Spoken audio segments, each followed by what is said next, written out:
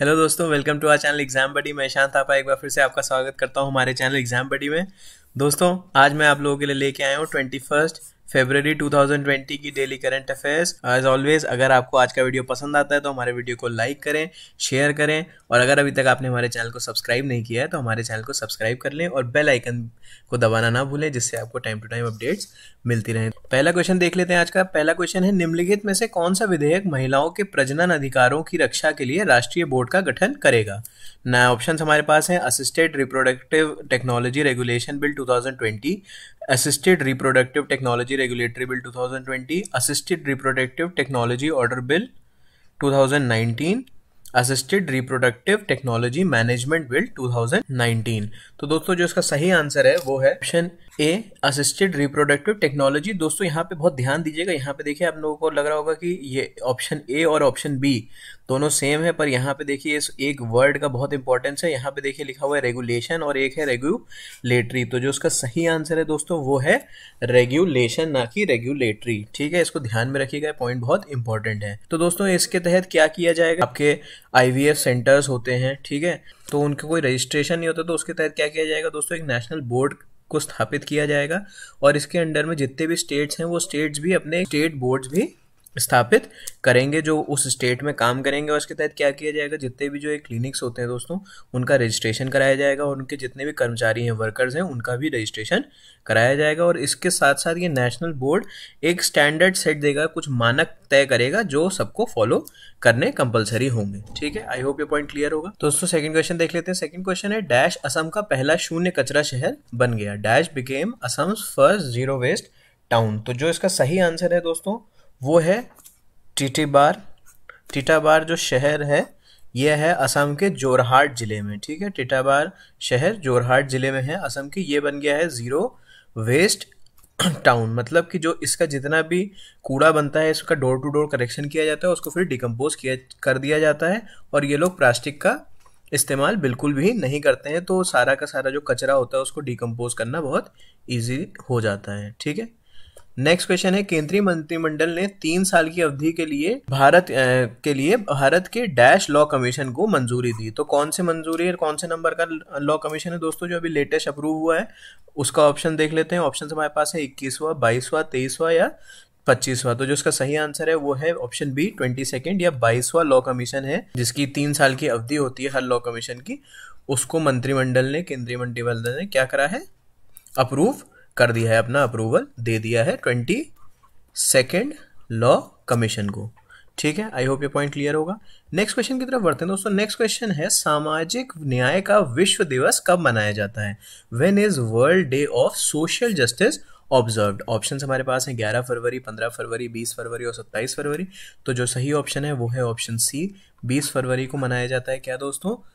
विश्व दिवस किसका? सामाजिक न्याय का। ठीक है, यहाँ पे आप इसका लोगो देख सकते हैं। 2020 की थीम रखी गई है closing the inequality gap to achieve social justice मतलब जो लोगों के बीच में इन जो होती है, उसको गैप को खत्म करना और सोशल जस्टिस को अचीव करना। ठीक है, फरवरी 20 याद रखिएगा तारीख। नेक्स्ट क्वेश्चन है नॉर्थ ईस्ट सतत विकास लक्ष्यों एस डी जी कॉन्क्लेव 2020 का आयोजन कौन करने वाला है? Who is to organise north east sustainable development goals S D G conclave 2020 option हमारे पास है, भारतीय रिज़र्व बैंक पंद्रहवा वित्त आयोग, नीति आयोग या फिर केंद्र अप्रत्यक्ष कर और सीमा शुल्क बोर्ड। तो जो उसका सही आंसर है दोस्तों वो है ऑप्शन सी नीति आयोग करने जा रहा है। क्या S D G sustainable development goals conclave 2020 ये कहाँ पे करेगा दोस्तों? ये हो रहा है आसाम में। ठीक है, नीति आयोग की स्थापना की अगर हम बात करते हैं तो नीति आयोग कब स्थापित किया गया था? नीति आयोग स्थापित किया गया था एक जनवरी 2015 को, और इसने किसको रिप्लेस करा था? इसने रिप्लेस करा था दोस्तों प्लानिंग कमीशन को। ठीक है, किसको रिप्लेस करा था? प्लानिंग कमीशन को। इसके, इससे पहले प्लानिंग कमीशन हुआ करता था, जो कि बाद में नीति आयोग बना दिया गया। और इसकी स्थापना कब हुई? एक जनवरी 2015 को। और ये कहाँ पे सस्टेनेबल डेवलपमेंट गोल्स कॉन्क्लेव करने जा रहा है? दो, आ, दो असम में करने जा रहा है। किसके लिए दोस्तों? जितने भी नॉर्थ ईस्ट के हमारे प्रदेश हैं स्टेट्स हैं उनके लिए करने जा रहा है जिससे कि उनका एक सस्टेनेबल डेवलपमेंट हो पाए सतत विकास हो पाए। ठीक है? नेक्स्ट क्वेश्चन की तरफ़ बढ़ते हैं। नेक्स्ट क्वेश्चन है Laureus world sportsman of the year का पुरस्कार किसने जीता? Who won the Laureus world sportsman of the year award? Option हमारे पास हैं A Lewis Hamilton B, Lionel Messi, C, Sachin Tendulkar, या डी में है, ए और बी दोनों। तो ऑप्शन जो सही है वो है ऑप्शन डी, ए और बी। ए और बी में क्या क्या ऑप्शन दिए गए हैं? लुइस हैमिल्टन और लियोनल मेसी। इन दोनों को संयुक्त विजेता बनाया गया है, जॉइंट विनर बनाया गया है इस साल के Laureus sportsman of the year award का। इसके साथ साथ दोस्तों, सचिन तेंदुलकर को भी लॉरियस अवार्ड से नवाजा गया है। किस चीज़ के लिए? इनको मिला है दोस्तों, बेस्ट स्पोर्ट्स मूवमेंट। ठीक है, सबसे अच्छा खेल क्षण, जो कि क्या था 2011 में जब भारत ने वर्ल्ड कप जीता था, क्रिकेट वर्ल्ड कप जब जीता था तो उस मूवमेंट को बेस्ट स्पोर्ट्स मूवमेंट का अवार्ड मिला है सचिन तेंदुलकर को उसके लिए। ठीक है? नेक्स्ट क्वेश्चन की तरफ़ बढ़ते हैं। नेक्स्ट क्वेश्चन है पीएम नरेंद्र मोदी के नेतृत्व में केंद्रीय मंत्रिमंडल ने Swachh Bharat mission Gramin S G के द्वितीय चरण को डैश तक मंजूरी दे दी। The union cabinet led by P M Narendra Modi approve the phase two of Swachh Bharat mission ग्रामीण जिसको शॉर्ट फॉर्म में एसबीएमजी भी कहा जाता है टिल वेन तो कब तक करा गया दोस्तों? ऑप्शंस देख लेते हैं। ऑप्शंस हमारे पास है 2021-22, 2022-23, 2023-24 और 2024-25 तो जो उसका सही आंसर है वो है ऑप्शन डी 2024-25 तक फ़ेज़ टू को मंजूरी दी गई है किसके द्वारा? कैबिनेट के द्वारा किसके लिए? स्वच्छ भारत मिशन ग्रामीण के लिए, ठीक है? जिससे क्या करा जाएगा? खुले में जो शौच की जो दिक्कत है, उसको खत्म करने के लिए जो ये चलाया गया था, इसका सेकेंड फ़ेज़ स्टार्ट करा जा रहा है, जिसमें जो बचे कुचे जितने भी हमारे गाँव हैं, उनमें जो कि टॉयलेट बनाने के लिए सरकार सहायता देती है, वो प्रोवाइड करेगी और वहाँ पे शौचालय बनाए जाएँगे और 2024-25 तक भारत को खुले में शौच से मुक्त कराने का इसमें ऑब्जेक्टिव रखा गया है। ठीक है? आई होप ये पॉइंट क्लियर होगा। नेक्स्ट क्वेश्चन की तरफ़ बढ़ते हैं। नेक्स्ट क्वेश्चन है दोस्तों 20 फरवरी को किन राज्यों ने राज्य दिवस मनाया? Which state celebrated the statehood day on twenty February option हमारे पास हैं। One, Mizoram, two, Assam, three, Arunachal Pradesh, four, Nagaland. तो ये चार हमको प्रदेशों के नाम दिए हुए हैं। अब ऑप्शंस देख लेते हैं क्वेश्चन में है दोस्तों। एक और दो मतलब मिजोरम, असम। एक और तीन, मिजोरम, अरुणाचल। दो और चार असम और नागालैंड। तीन और चार, अरुणाचल और नागालैंड। तो इसका सही आंसर है दोस्तों, वो है ऑप्शन बी एक और तीन, अरुणाचल प्रदेश। और मिजोरम मनाते हैं कब? 20 फरवरी को अपना राज्य दिवस। आइए इन दोनों राज्यों के बारे में कुछ चीज़ें जान लेते हैं। दोस्तों, मिजोरम जो है, ये राज्य दिन जैसे आपको पता है 20 फरवरी उन्नीस सौ सतासी को ये स्थापित हुआ था, इसीलिए ये राज्य दिवस मनाता है। ठीक है, यहाँ के राज्यपाल कौन है? राज्यपाल है यहाँ के पी एस श्रीधरन पिल्लई। ठीक, मुख्यमंत्री मुख्यमंत्री है जोरथम, जोरम थांगा। राजधानी है आइजॉल। ज़िले कितने हैं दोस्तों मिजोरम में? ज़िले हैं ग्यारह। आधिकारिक भाषा है मिजो, अंग्रेज़ी और हिंदी और साक्षरता। लिटरेसी रेट काफ़ी हाई है दोस्तों मिजोरम का 91.58 परसेंट पे, ठीक है? अरुणाचल प्रदेश के बारे में फैक्ट देख लेते हैं। अरुणाचल प्रदेश भी 20 फरवरी उन्नीस सौ सतासी को प्रदेश बनाया गया था तो उसी दिन ये अपना स्टेटहुड राज्य दिवस मनाता है, ठीक है? राज्यपाल है brigadier doctor B D Mishra, सेवानिवृत्त। मुख्यमंत्री है पेमा खांडू, कैपिटल है ईटानगर, राजधानी ज़िले है 25 आधिकारिक भाषा है अंग्रेज़ी, और साक्षरता यहाँ की ठीक साक्षरता है, जो कि है 66.95 परसेंट ठीक है?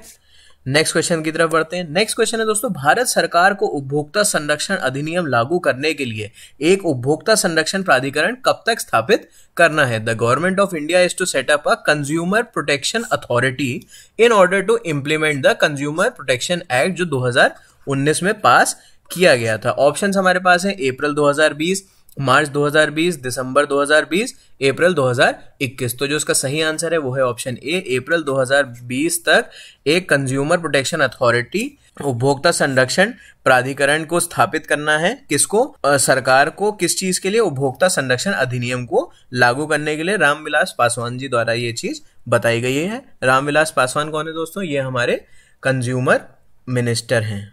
ठीक है? नेक्स्ट क्वेश्चन है संयुक्त राष्ट्र की रिपोर्ट के अनुसार स्थिरता सूचकांक और उत्कर्ष सूचकांक में भारत की रैंक क्या है? What is India's rank in sustainability index and flourishing index respectively according to U N report option हमारे पास है, सतहत्तरवा और एक सौ इकतीसवा, सतहत्तरवा और डेढ़ सौवा सत्तावनवी और एक सौ इकतीसवीं इकतीसवीं और एक सौ पंद्रहवीं। तो जो उसका सही आंसर है, वो है ऑप्शन ए सतहत्तरवा और एक सौ इकतीसवा स्थान है। सतहत्तरवा है किसमें?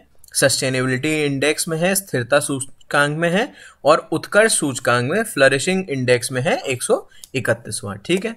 दोस्तों, जो ये रिपोर्ट था, उस रिपोर्ट का क्या नाम था? रिपोर्ट का नाम था a, future for the world children, ठीक है? ये किसके द्वारा बनाई गई थी रिपोर्ट? ये बनाई गई थी तीन संगठनों ने मिलकर बनाई थी। वो कौन कौन से संगठन थे? विश्व स्वास्थ्य संगठन डब्ल्यूएचओ संयुक्त राष्ट्र बाल कोष, यूनिसेफ का जो ऑर्गेनाइजेशन है और द लांसेट मेडिकल जर्नल। तो इन तीनों ने मिलकर ये रिपोर्ट तैयार किया था। इसमें देख लेते हैं दोस्तों, टॉप थ्री और बॉटम थ्री दोनों में।